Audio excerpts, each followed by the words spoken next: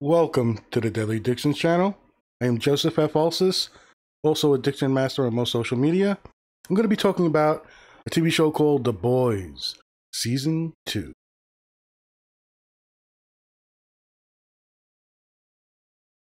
All right, I did a podcast on The Boys. I loved the first season. You can check it on my TV playlist, TV Talk. So, good news the Boys season two was good. A little bit of bad news. I had issues with the way it was put together.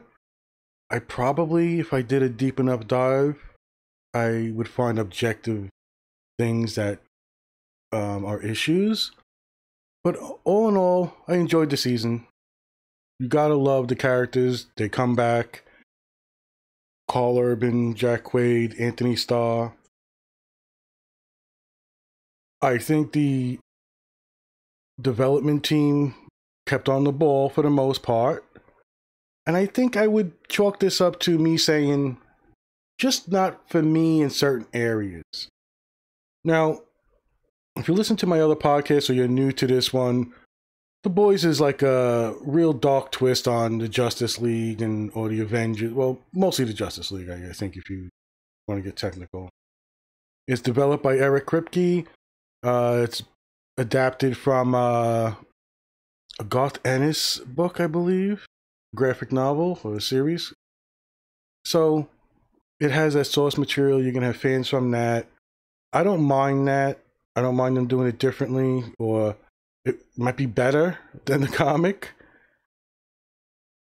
So the first season ends, and you've got this dark Justice League, these vigilante uh, resistance forming. Karl Urban is back and he's just as good.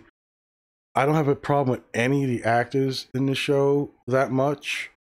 And it's a little disappointing because there are some actors that are the characters that are portrayed well. I don't like where it's going.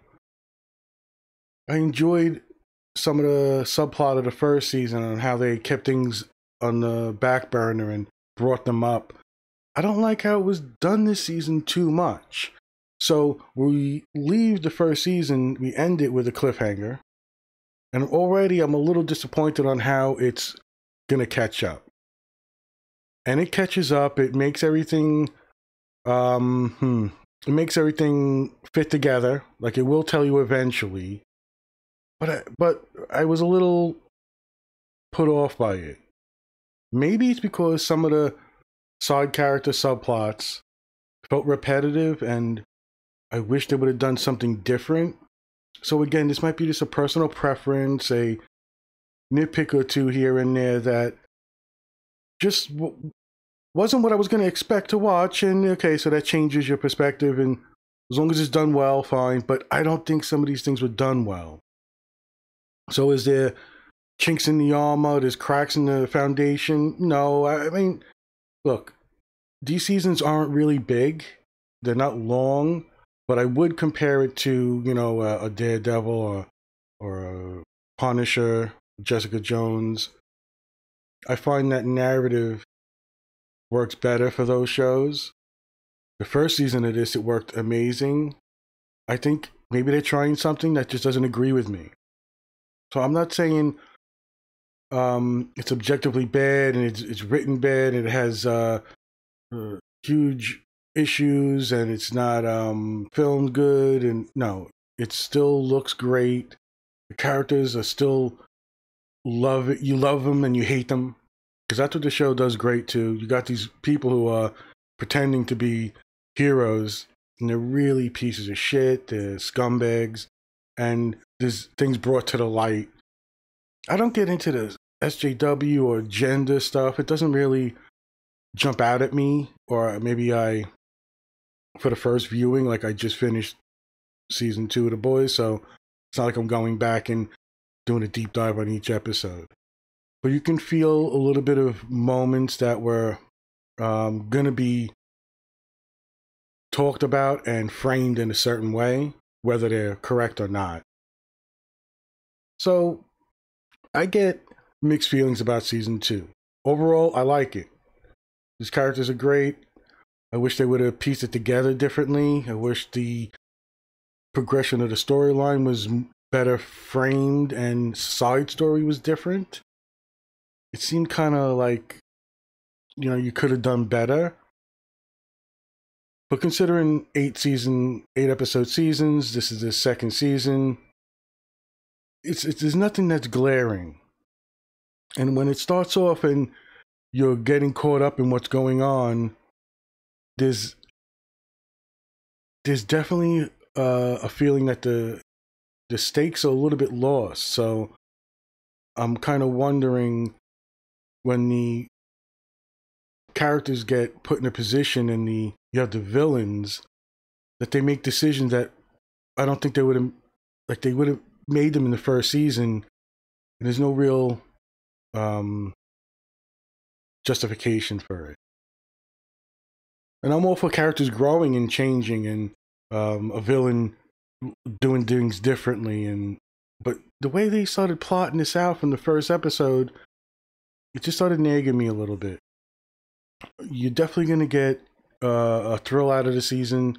It's good it's fun it's um irreverent. They still have some moments that just make you laugh your ass off uh they're a little um you know they're funny shocking and dark and you know gory it, it still plays with that well.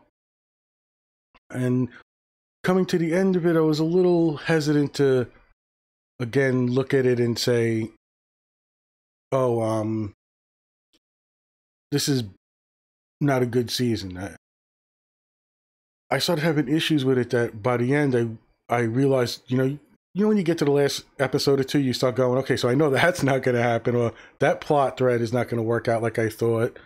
And I think that's what was weighing on me. And it's just personal, I guess. It's not like I'm saying, uh, you know, something was cut out of the show and this scene doesn't make sense leading to that scene. I just didn't like the way it developed. And I, that's like a personal thing. So I'm not knocking the show on that. It's like, I guess, wow, I wanted the show to be written more like I would have wrote it or, and that, that's not a real critique on the, on the show. But I think there are a couple more issues with the show than there was the first season these this is not going to be a spoiler. It's a pretty new show. I, I, don't do many of them unless I go, um, you know, try to do a deep dive on them. But I like the way this film, uh, the show is filmed and shot. They really get what they can out of the actors. I just wish a couple of them were written better. And there's a weird um I don't know. It, it gets me in a weird place at the end. But for, like I said, for most people, I think it's going to be a fun ride. And yeah, it'll be ups and downs and, you know, some deep moments and uh, some crazy shit. And I love it in that sense. I just wish a part of me wishes that it was uh, um, done in, just in a, I don't know, I had this problem with The Witcher, I think, when they tried to do their explaining of the show and they didn't really make it apparent and it kind of lost you. Now, this is nowhere near like that. But I think um, my brain was working in a, you know, a Sherlock Holmes way from the first episode on, and I was really paying attention to things that I was expecting. So, in an honest take, I think I'm picking out a lot of things that are bothering me, and it might seem like it's a problem for me, but no, I, I really like the season. I'm just not critically, or you know, going to give it a. I don't fucking do numbers systems or whatever. Um, you know, but I wouldn't give it a, the highest praise. I wouldn't put it at the top of the show in in some sort of ranking. But I think it's enjoyable, fun. Is it as good as the first season? No, but that's not a real knock on anything. And where is it going to go? I'm interested in. It, there's a funny, well, not a funny story. It's just fucking interesting to me. But I do role playing and I role play superheroes. And I usually, my world is an amalgamation of everything. But when you're playing for a certain amount of years and like a show comes out, I sometimes make a decision. Do I just blend it in like they've always been there? or do I make it like an alternate universe? So I made the boys an ultimate universe, alternate universe. And I had uh, a couple of adventures where one of the characters um, got sent there by accident. So I have like my own little written thing, and I guess to be honest, that's part of it too. I guess. I, look, uh, I fancy myself a writer. I would love to be, you know, on some show writing, you know, some comic book characters that I love, or even ones that I don't. So, yeah, there's that too. Uh, I'm familiar with the world enough that I've already written stories in it. I guess you can call it fan fiction, but it's you know game master stuff where they have things to do and they have to blah blah blah. So really, from season two is a diverged universe from what I play in my world now because someone has altered it. And that could be revisited by my characters. You could check out some of my podcasts I do. I talk about using the Roll20 system to do um, superhero role play type stuff. So where's it going to go? I know where I wanted it to go. I want it to go, but I don't think it is. I don't think it's going in a bad direction, though. I guess there's uh, potential for that, right? There's always a there's always something that can come out and just you know fuck up everything. But I don't think it's like that trend. Like that's not what the the nitpicks off of me and some things have to start um, making a little more sense. So you have character decisions that end the first, the second season, and throughout the season, like I said, I disagreed with, like it didn't feel right that this character was doing certain things this way, and it wasn't like a a, a reveal of uh, some other plot it just felt very jarring for the character. And then at the end, in an almost cliffhanger, no, not a cliffhanger way like the first season, but you're presented with a new status quo and how the characters are going to respond to that. Maybe it's a good thing that I don't have an, a real solid, well, you know what, I kind of do because of the way it goes, but again, it's more personal where I want it to go, where I think it would be a great amazing thing. But that's just personal preference. The Boys season two, really good. I recommend it. I think you'll find a lot of fun in it.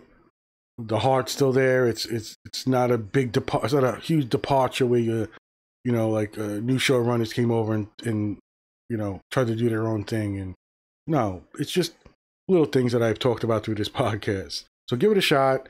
I recommend it and I don't know if it hurts a show like this to be on a, a prime type thing. I wonder in the long run, uh, are some decisions made to do certain things based on the way the show is being funded? Maybe I should look into that. That'd be interesting. I mean, you always hear about Netflix getting all the money and they have all the resources to make shitty stuff, good, you know, take chances and have independent stuff here and there. Uh, I wonder if like a place like Prime, Amazon Prime is like trying to do a little too much, pushing things. So you're, you know, I don't know, just maybe you're just doing a lot of colorful, loud stuff, and I want it to make more sense, if that means anything. It's just something to think about. Watch The Boys Season 2. I'll talk to everybody next time. Be well.